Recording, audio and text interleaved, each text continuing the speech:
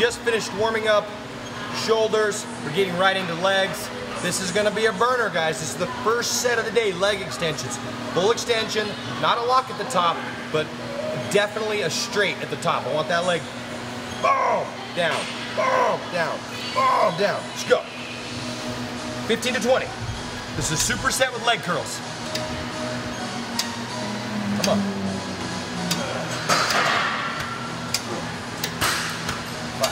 Come on. Six. Seven. Flex that. If you don't know, if you're straight, just watch your leg. There we go. That little horseshoe right there will happen. It's a beautiful thing. Come on. Don't let it rest. There you go. Time under tension. What's your number? 17. 18. Last two, I want you to do 10 second up. 19. Last one, I want a 10 second up. Slow on the way up. That's way fast. Back down. Okay, when I say 10 seconds, it's really, it took me like 40 times to get this right. Start slow and give me a 10 second up. One, two, three, four, five, six, seven, eight, nine, 10. Drop. Now, if you pick the wrong weight, uh, in other words, if it's too light and you're just busting through your reps, you don't necessarily have to get up and add weight. You can always just slow down the time under tension, slow down the rep, and that will act like a lot more weight. Hold this out here, a five pound weight for um, 20 seconds. Not so hard. Hold it out for, for three minutes. Oh. So like that, let's go, girls. I talked too long during the superset. Get right into it. Same thing, 10 to 20, 15 to 20. Is this too easy? Yeah. We're gonna drop his weight, this is way too easy. Give me that weight, give me the weight. There we go. Okay, let's do it. Yeah. Be safe, make sure your upper body's not moving. Hold full tension. You got a buddy to mess with you? Make him mess with you. Come on. Come on. Come on. Come on. Shit. That's tough kid. Come on. Come on.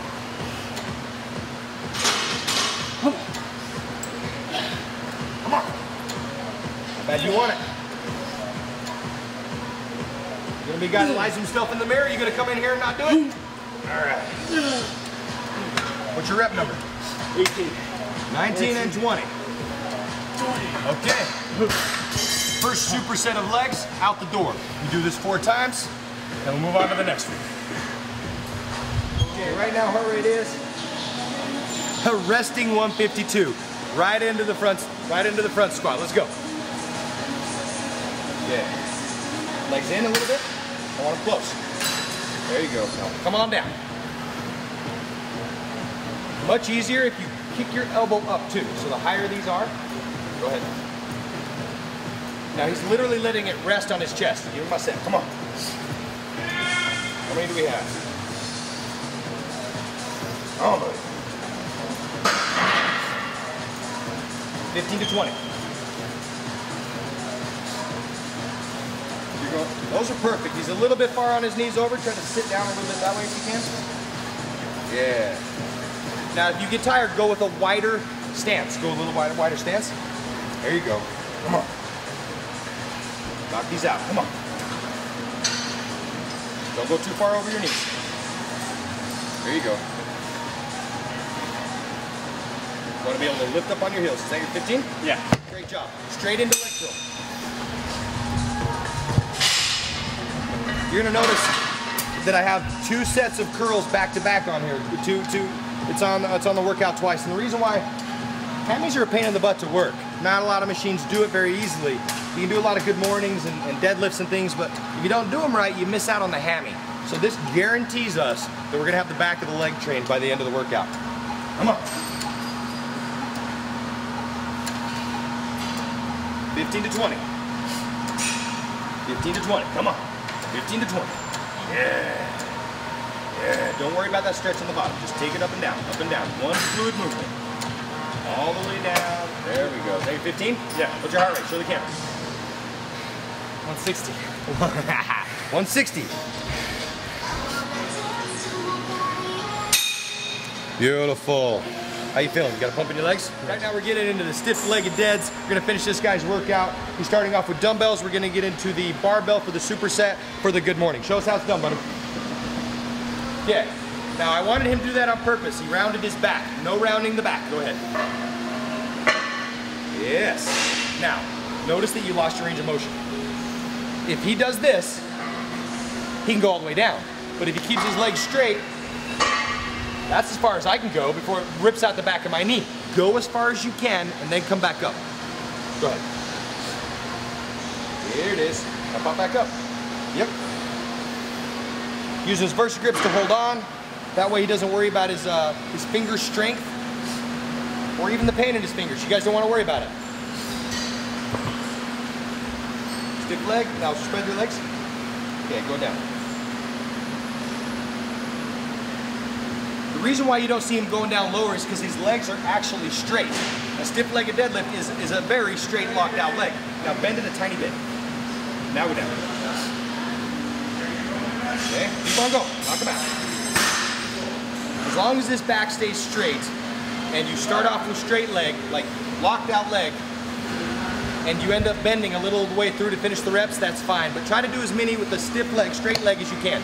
Right into good morning. Let's go.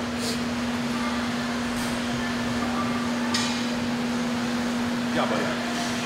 Really proud of you.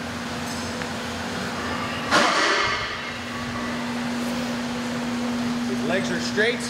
His back is bowed. nice. How many do we have to do?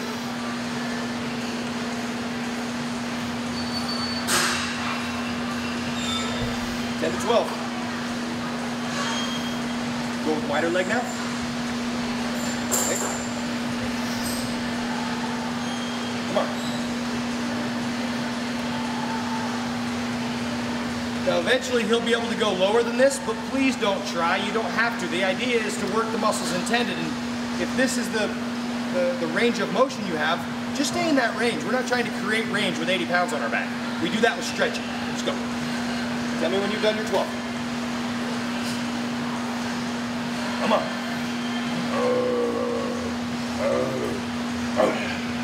Take this, right here. You done? Yeah. Ready. What's our heart rate? 161. 162. That's great. Congratulations, my friends. I like using this once again. Look at this sweat. I could be blowing smoke up his ass about his sweat all day long, but I don't care about sweat. It could be hot in here once again. If he wasn't sweating, let's say, and um, and, and I'm like, dude, why aren't you sweating? Why aren't you sweating? He doesn't have this heart rate monitor on. I wouldn't. I would think he's not trying, right? Well, what if it's wintertime? What if it's cold? What if what if they they're really sporting for the bill at your your your gym and they're going all out on the air conditioning, and and and sweat um, isn't abundant in the gym, even with effort. Screw all your sense of accountability, my friends. We'll go with what this heart rate monitor says. It is the mediator. It takes me out of it. It takes your eyes out of it. It takes the pleading, oh my gosh, I'm in so much pain out of it. If you look down and it doesn't give you a number that is high enough for the muscle groups intended, and these things are on the dot .com, go to the graph, you'll see, you're, you're not trying. You're not. Or the advanced course should be you're depleted. You just don't have the fuel in you to really keep going. And that's what happens also as well. You've been following the diet. Notice your calories went down a little bit? Yeah. Fat's harder to burn than, than, than sugar, right? So it is, it's, did, tell, tell them about that. It was a pain in the butt, right? Oh yeah. Dieting down is it's tough. And I'm a server, so I basically work at night. I have to deal with food all day long. I have to look at it. So, and that's when I'm hungry at night, and I have to deal with food. Good job, man. All right, we're gonna get into calves and finish up this leg workout. Let's go. Rolling. All right, until you've got the whole thing stacked up with 45s, this is a great way to manipulate strip setting. The idea is, to do a certain amount of reps and then remove some weight and do some more, right? If you have a huge long rest, it's not really a strip set, it's a, it's a rest. So, kind of a trick. That way I can get my fingers underneath it and get going fast. What's your weight? What do you usually do? Um, for this one, I rolled it up. Try to, try, try to get that off and then tell me how much more we do. A lot more? Yeah. Okay, rack it. We load it up.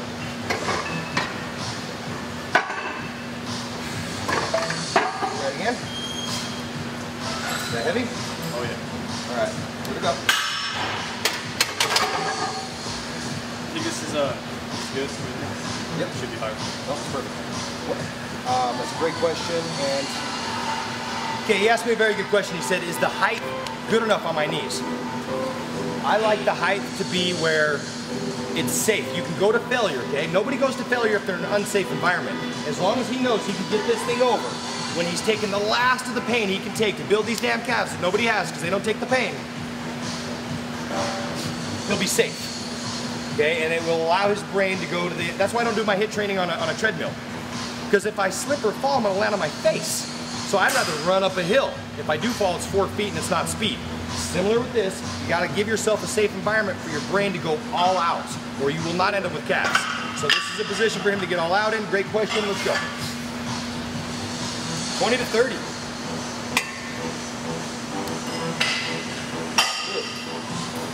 His hands do not go here unless they have to.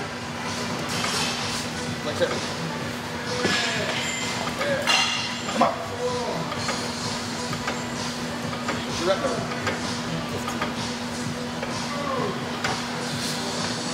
Pause. Get it over. No, get this thing over.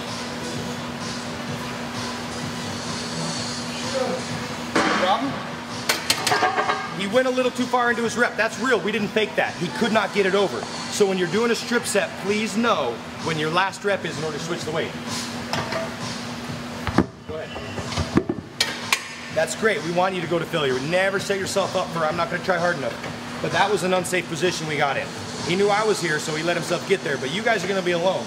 Just make sure every once in a while you double check you can get at that bar and get it over. Is that enough? Yep. More for fun. See this bar right here? See this handle?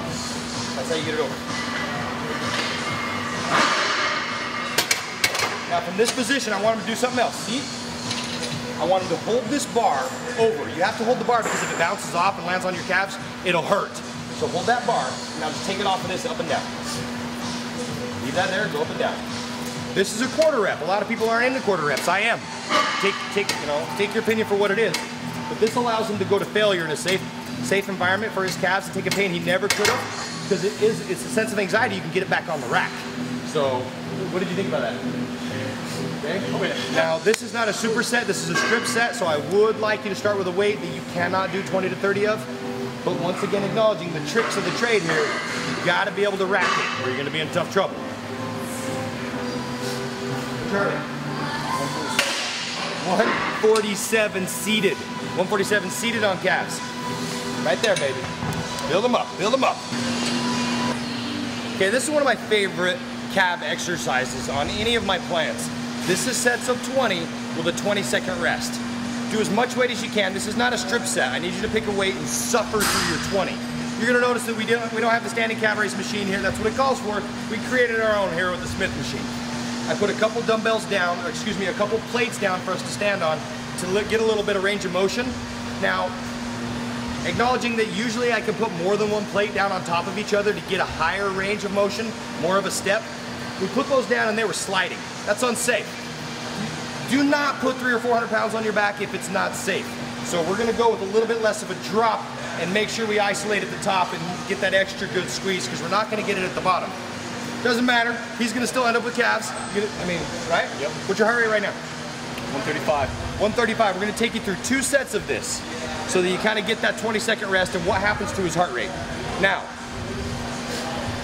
weight is everything for calves. Ladies, gentlemen, anybody. Your calves do a lot of work. They do a lot of work. How much do you weigh? Uh, 185. 185. Now imagine him 185 doing this. That's the pressure going down and the pressure going up. Probably with, with that kind of impact and that kind of uh, torque, that probably jumps it up to 230, 240, just with the you know the resistance and the motion up, firing off, stopping it, and going back up. So acknowledging if he doesn't do at least 240 on here, there, I mean, he's not training his calves. Okay, you, you do that running the mountain. So we really want muscle. We really want calves. For those of you say genetics is an issue and you don't have calves because of it, because of it, have you thrown the weight on? You got huge quads. You got huge chest, huge arms. Where the hell are your calves? It's because you're not putting the weight on and or, and this is a trick, I like to talk about this one, calves hurt. Oh yeah. Calves hurt like abs and biceps. They is excruciating. So it's it might be your pain threshold.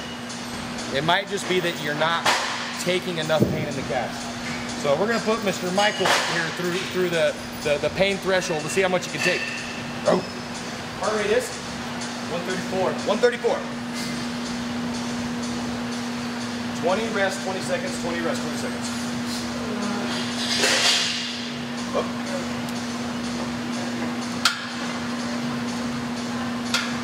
Two. Three. Four. Take, take it out. Five. Six. Get them up. Seven. Too much weight. Drop it. Drop it. There's a little too much weight. Get it off. If that happens to you and your first set turns into a strip set, well, I'd rather have that than you not put on enough weight. So, so especially in this where it's a structured environment, it's already locked up for him. Let's go, buddy.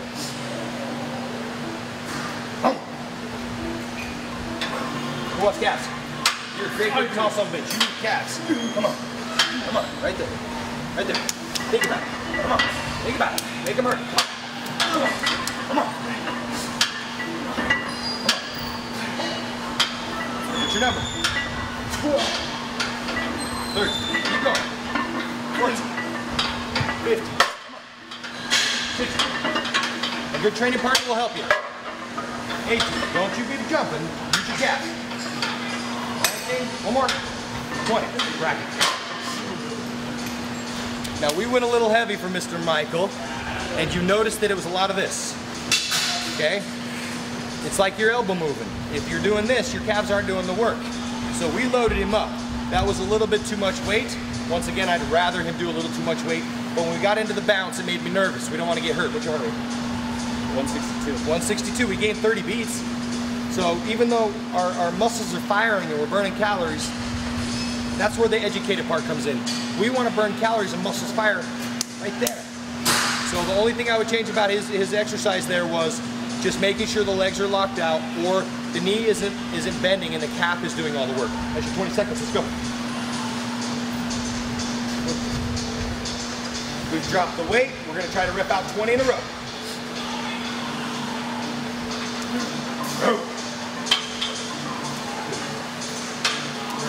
There we go. Four. Don't bend those legs. Five. There you go. Six. Take the pain. Seven. Take it. Eight. Don't bend those legs. Nine.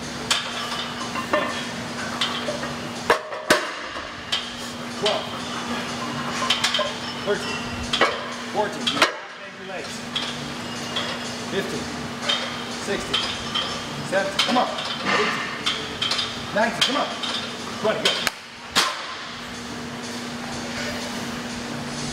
Would hurt? 163. 163, guys, on calves. Check your heart rate next time you train calves. Is it 163? 163 is how you judge effort, how you judge your resistance to know if it's high enough. he finished 163, and the last time he had, what, another 200 pounds on there? So anything above, I think on my graph I have anything above 140 or 150 uh, is a great calf exercise, especially if it's if it's uh, seated. If it's standing, we want to be closer to the 140, 150 mark. That shows effort. That shows um, accountability that you did apply enough resistance to the body for it to remember it and try to um, try to get stronger for the next attempt at that resistance. Okay, it's educated steps here, guys. Anything for the anything? That's your leg workout, buddy. Anything? It's really good. Calves burning, legs are burning. Same workout. really insane workout. Okay, you've done this workout before. Did yeah. we do anything different during this workout that you've done before? Um, I had a partner which really helped me out. Uh, you were helping me drop today. You were helping me uh, push harder. But not everybody has a partner. So Yeah. besides besides having an educated partner, what else? Um, form, learned a lot more about form. Okay, what were the differences in form? Um, well, for calves, for one, I wasn't going high enough. Okay. Um, that's pretty much it. Well, you, I mean, you look great, so there shouldn't be a lot wrong. Yeah. I mean, he, I, th- th- it's a kind of a trick question here. He could have been doing everything right. We just wanted to film it so I could show you guys. Yeah. Or if we learned something today, that's the whole sharing with the group thing. And what he's saying basically is he got a his high step wasn't high enough on the calves. and um, he realized that it is kind of nice, especially some of the superset strip setting stuff, to have a partner to help help, Oh, yeah, help remove the weight and, and keep you safe, right? He knew I had his back, so he could go to failure. And once again, that's creating the environment where your body will let you go to that to that place of trauma, uh, knowing that it is a safe environment. You're not going to get hurt. You're just going to be traumatized a little. So good stuff, buddy.